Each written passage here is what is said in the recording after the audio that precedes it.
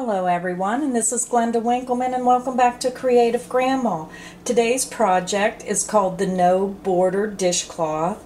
This dishcloth pattern was made specifically for first-time crocheters who want to try to make a project, but you're a little afraid of the border and going up and down the sides and around the piece.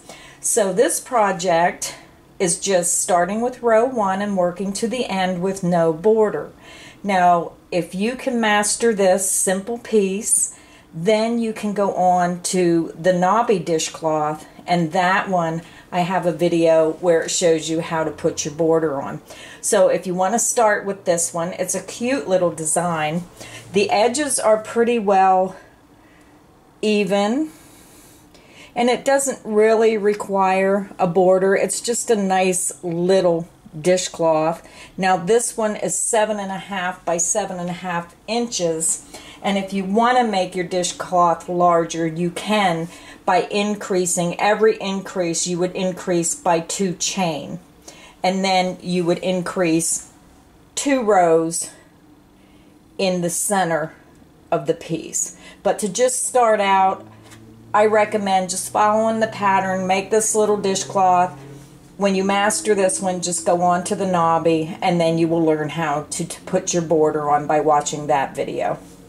So today I actually have four samples. The first one is the white with the blue and green border. I think this one shows the pattern better than any of my other samples with the, with the solid colors.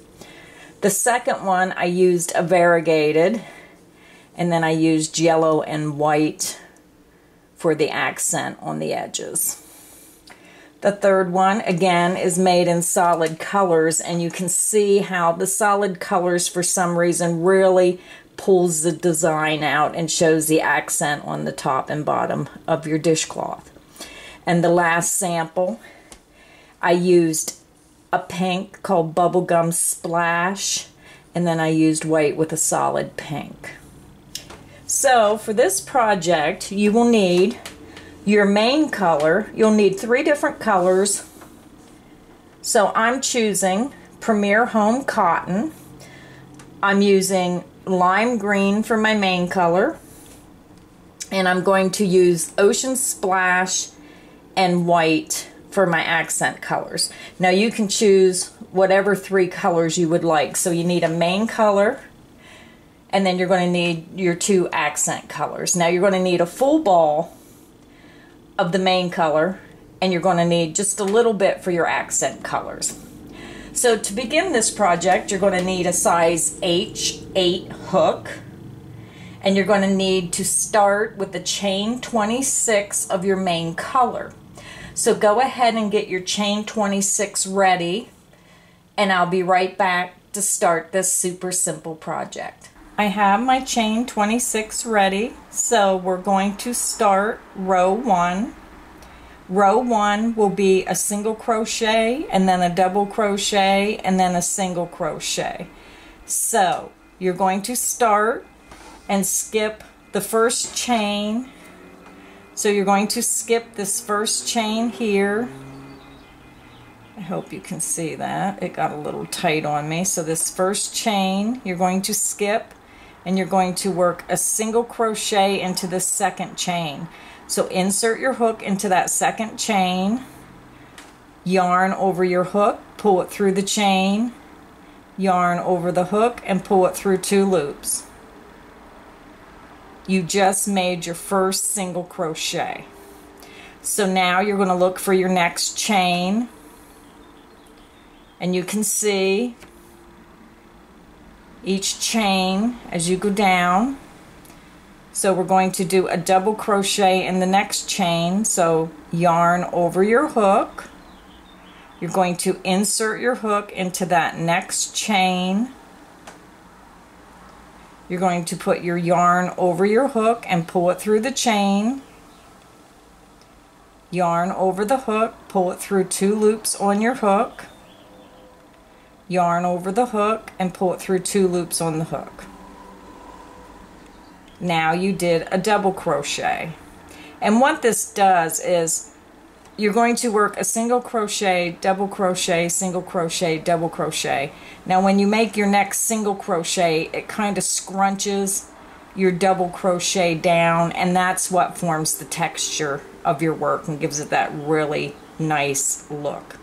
Now this is a variation of the knobby dishcloth. This is the same single double crochet pattern, but it does have a variation in it to make this one just a little bit different. That's why I said when you're done mastering making this dishcloth, then you can go on to the knobby dishcloth and learn how to do your border. Okay, so now the next chain, you're going to do a single crochet. So insert your hook into that next chain and always make sure you look. This stitch, if you're not sure, this double crochet, you can see how it comes down into this chain. And if you're not sure, just pull them apart a little bit. Okay, so that's not the right one. You want to go into this next one. So insert your hook into that next chain, yarn over the hook, pull it through the, the chain stitch, yarn over the hook, pull it through two loops on the hook. That's the beginning of your second repeat of the single double crochet. Now you're going to do a double crochet in the next chain, yarn over your hook, insert in that next chain, yarn over the hook, pull it through the chain, yarn over the hook, pull it through two loops, yarn over the hook, and pull it through two loops. Now, sometimes when you're working with this cotton yarn, you can see how loose how loose that is. It's it's really loose. So make sure you don't split by putting your hook through those. Just rip it out and start over if you do. Okay, so we're going to repeat this across to the end and you're going to end with the single crochet. So let me show you one more time. Single crochet into the next chain, insert your hook into that chain yarn over the hook, pull it through that chain, yarn over the hook, pull it through two loops. A double crochet in the next chain, yarn over the hook, insert it in that next chain, yarn over the hook, pull it through the chain, yarn over the hook, pull it through two loops on your hook, yarn over the hook, and pull it through two loops on the hook. So go ahead and repeat that across, ending with the single crochet in the last chain. And if you start going across and you're not sure, just pause the video, backtrack it, play it again until you get to the end of row one. I'll meet you there and we'll start row two. I'm at the end of row one and this is what your piece should look like. Now you should end with a single crochet in that last chain. And if for some reason you did not, then you need to check your stitches and see where you made the mistake. Or you might have, you know, chained too little or, or chained one too many. So go ahead and check your row. If you ended with a single crochet, then you are good to go to start row two. So to start row two, you're going to chain one, so you put your yarn over your hook and you pull it through that loop. That's your turning chain right here. So you're going to turn your work. I always use my, my two fingers here to hold that yarn. It kind of helps you maneuver it around when you're trying to work if you can't grab a hold of your piece. You're always going to start with the single crochet and end with a single crochet on your row. So we're going to look for our stitch and if you're new to crocheting, this might be confusing because you're looking and you're saying, okay, my goodness, where's my stitches? So what I tell people when I'm trying to teach them how to crochet is just turn your work slightly. And when you see these, what I call little V stitches, I'm, it's not cooperating with me, it's going where it wants to. This here be here, here, here, these are your stitches. You're going to be going under these two yarn threads here. So I'm going to insert my hook. We're going to work that first single crochet. and I'm going to turn my work slightly. This is my beginning chain one, so we do not work in that. You look for your next stitch, which is the first stitch here, going up the edge. So don't get confused by this chain one space. If you go in there, then you're going to increase and your work will start angling up the side. So skip the chain one space, insert your hook in that first single crochet, yarn over the hook, pull it through those two threads, strands, yarn over the hook and pull it through two loops. You made your first single crochet in the beginning single crochet of the last row. So you can see how your stitches match up. So now this pattern you work a single crochet in the double crochet and a double crochet in the single crochet across. So the next stitch is a double crochet. You can tell by how long it is. And this one's shorter. This one's long, this one's shorter. So you're going to put your yarn over the hook. Whoops, I'm sorry. I'm you're going to put a single crochet in that first double crochet there. So it, turn your work slightly, look for your two strands of yarn, insert your hook underneath those two strands, yarn over the hook, pull it through the double crochet stitch, yarn over the hook, and pull it through two loops on your hook. Now with this pattern, you're going to have one row that starts with a single and double crochet and the next row will start with two single crochet. This is an alternating pattern in order to get the single and the double, the double and the single, vice versa on each row. So now the next one is a single crochet. So you need to work a double crochet in that single crochet. Yarn over the hook, Turn your work slightly and look for those two strands of yarn. You're going to insert your hook under those two strands.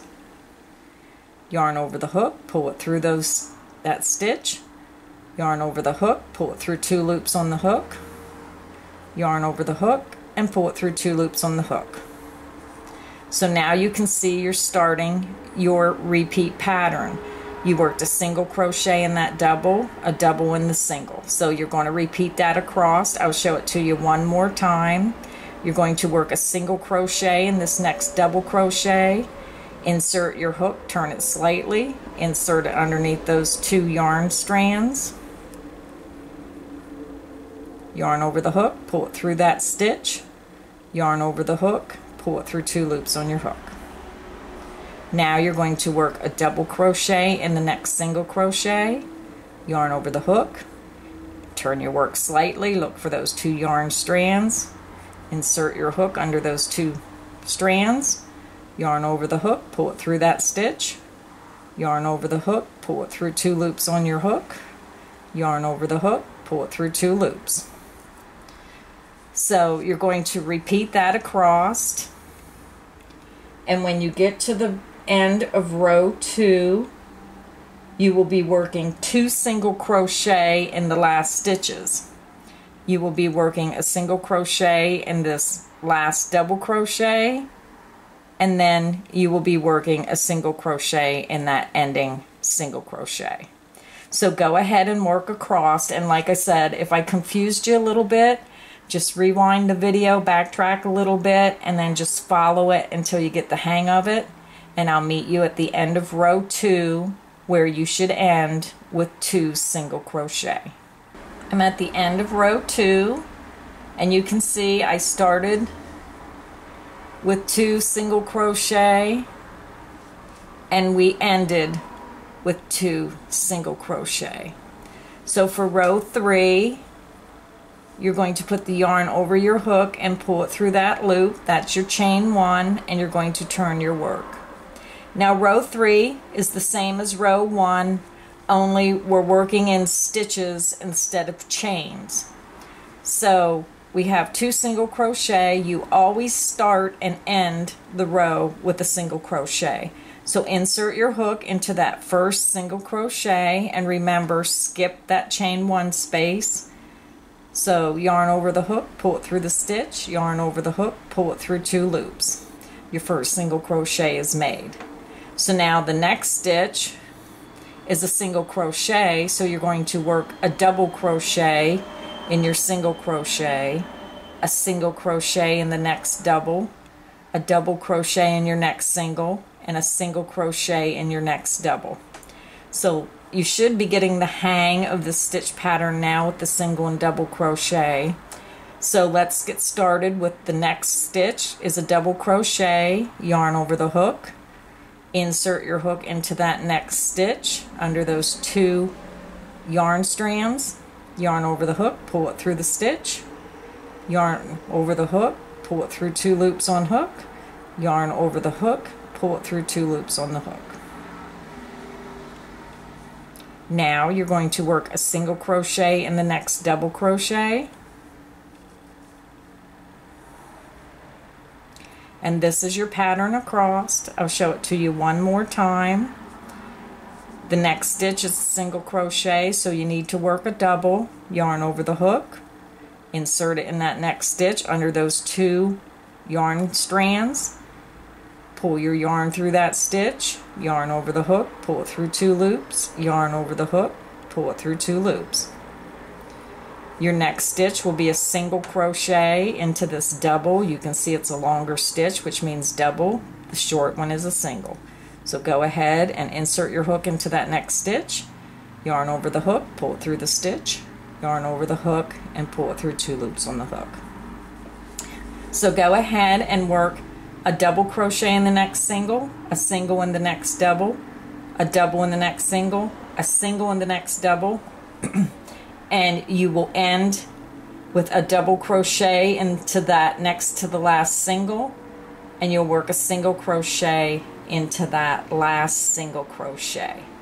And like I said it's just a repeat of row one only you're working in the stitches instead of the chains. So go ahead and work across and I'll meet you at the end of row three.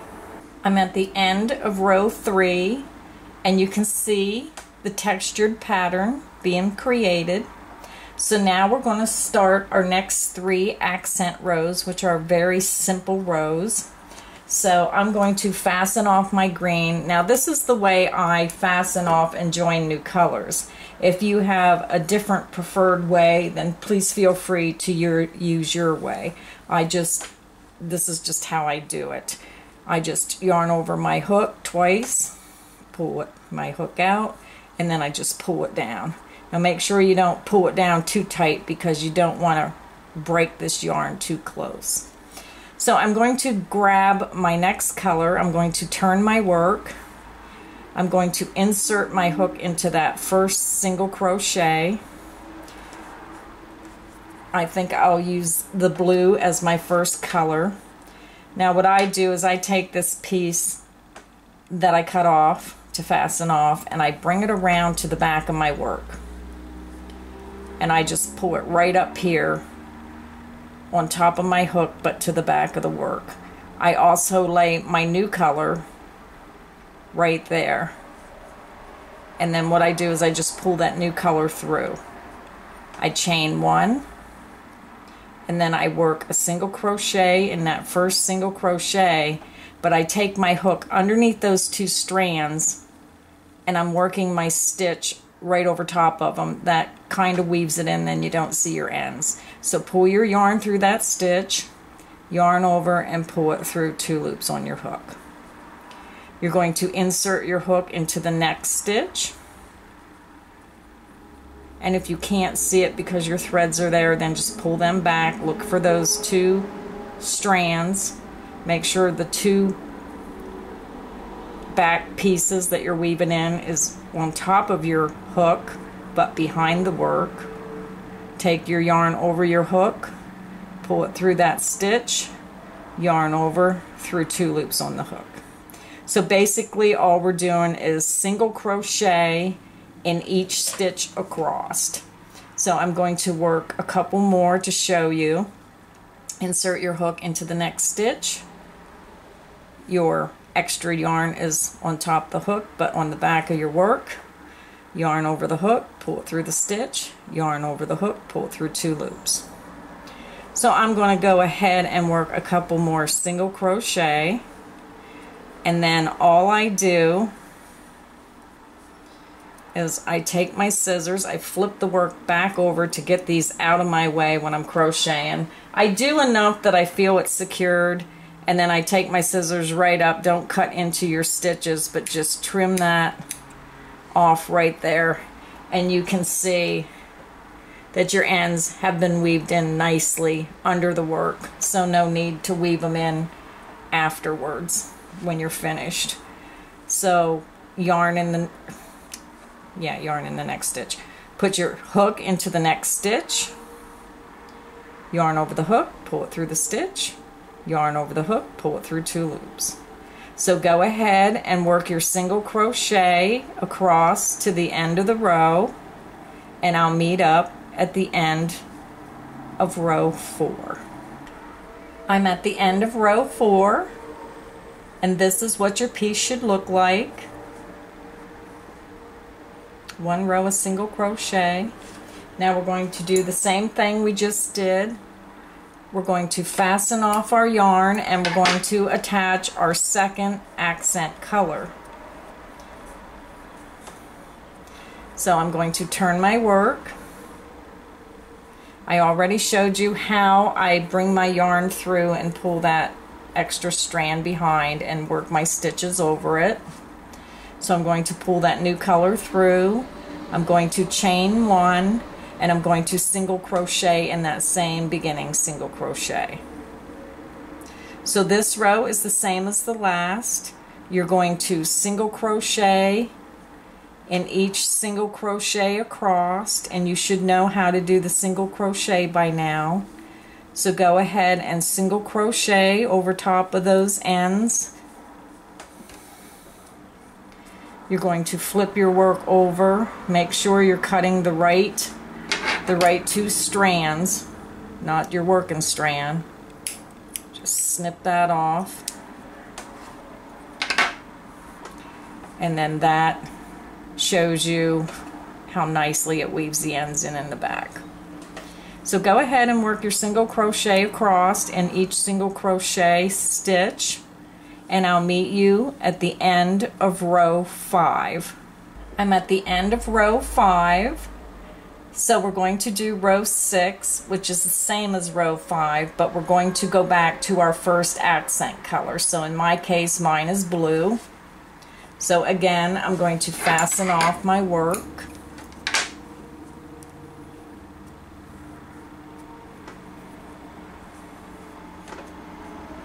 I'm going to turn my work and then I'm going to grab that first accent color that I used. I'm going to pull my new color through that first single crochet and I'm going to work my stitches over top these strands of extra yarn. So pull your yarn, your new color through, you're going to chain one and you're going to single crochet in that same beginning single crochet.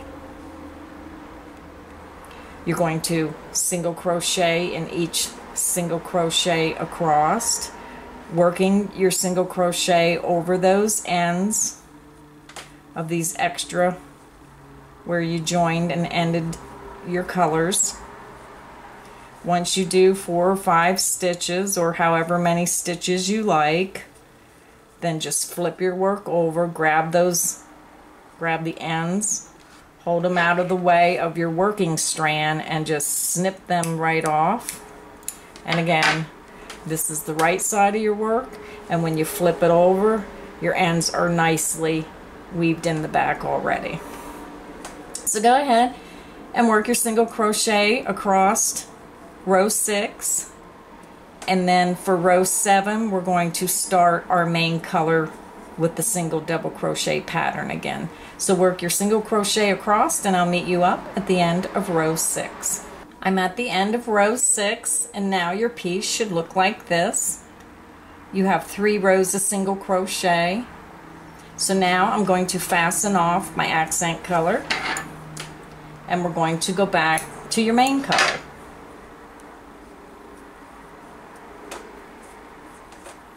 You're going to turn your work You're going to insert your hook into that first single crochet. You're going to grab your new color, you're going to pull that new color through. You're going to chain one and you're going to work a single crochet into that first single crochet. So now we're going to start our pattern again with the single crochet, double crochet. So the first row we already have our single crochet because you always start and end with a single crochet. So now the next stitch will be a double crochet, yarn over the hook, insert your hook in that stitch, yarn over, pull it through that stitch, yarn over, through two loops on hook, yarn over, through two loops on the hook. So for this row, you're going to single crochet into the next stitch, double crochet into that next stitch,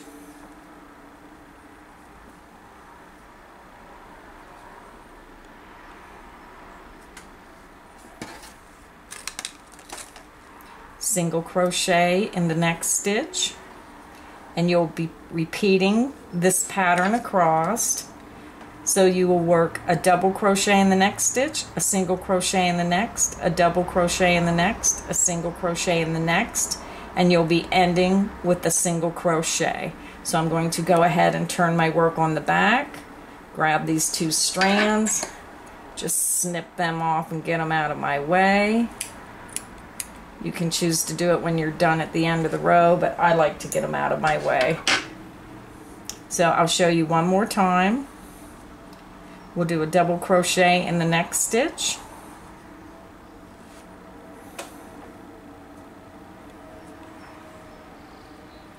And a single crochet in the next. Repeat that across and I'll meet up with you at the end of row 7. I'm at the end of row 7 and this is what your piece should look like. You have your first accent rows in your dishcloth. So now we're going to work the center section. So if you look, you just completed this section here of your dishcloth. So now for this section here, you're going to work 10 more rows of the single double crochet alternating each row so for rows 8 through 17, you're going to repeat rows 2 and 3 five times. So for this, if you want to skip to the end of the video and copy and paste the instructions, or just email me before you begin this project, and I'll be more than happy to send you the actual pattern, and you can follow along in the video. So go ahead and work rows 2 and 3 five more times, and I'll meet up with you at the end of row 17. I'm at the end of row 17 and this is what your piece should look like. So now what you're going to do is you're going to work rows 4, 5, 6, 7, 8, and 9 over again. So instead of me filming this again, if you just want to back click on the video towards the beginning and find where I started row um, row four. And then you can just follow that along again since you already did it once. You're going to work your three single crochet rows for your accent and then you will do another three rows of your single crochet, double crochet, alternating your stitch. So you will be working rows 18 through 23, which is a repeat of rows 4 through 9. So go ahead and click back to where I fastened off and started row 4 of our first row of our accent color. Uh, continue from rows 4 to 9 I'm going to go ahead and finish up my piece and work rows 4 through 9 again and I will meet up with you at the end of row 23. I'm at the end of row 23 so now the only thing left to do is I'm going to go ahead and fasten off my work. And I, um, I had a subscriber ask me to show how to weave in the backs so I did remember my yarn needle this time. So you're going to take a yarn needle, you're going to thread your yarn, from fastening it off onto your yarn needle. And this is the back of the work. So this is the front. When I finished, I'm just going to turn my work over on the back. And I'll bring this up close and you just stick your needle and you're going to go under some of the bases of these stitches. Just like so. See how my needle goes under the base of the stitch. Hold on to your corner with this finger. Grab your needle. Just pull that needle through. And you're going to snip that yarn off. And that's how you weave in your ends. You can't even tell it was there. So do that with your other corner. And I hope I didn't confuse you too bad with the pattern. Uh, I know that when you're crocheting, it's a lot different than when you're standing here listening to somebody say double crochet in the single crochet, single crochet in the double, double in the single. Uh, so my advice to you when you're new and you're starting a pattern is don't worry about the overall pattern or the whole of the pattern. You take it by the first row and you do it stitch by stitch when you get the first row done, you start your second row. And that's the best advice I can give you is just one tiny step at a time. And you'll end up with your first piece of the no border dishcloth. And like I said, when you get this done, then try the knobby dishcloth and that one you can learn how to put a border on. So I hope you enjoyed this episode of the no border dishcloth. Uh, I still think the solid colors look a little bit better. Uh, they show the detail of the accents better. I think the variegated's a little harder to see, but they're still nice. So thank you for stopping by. Please like, comment, and subscribe to my channel. And good luck to all you beginners. I hope you enjoyed this video. See you next time.